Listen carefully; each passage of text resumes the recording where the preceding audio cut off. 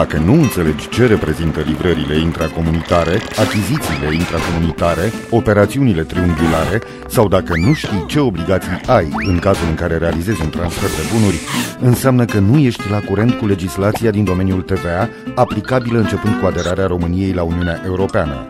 Ca să înțelegi și să aplici corect prevederile legale cu privire la TVA, trebuie să te informezi. Accesează infotva.mfinanțe.ro, unde găsești toate informațiile de care ai nevoie.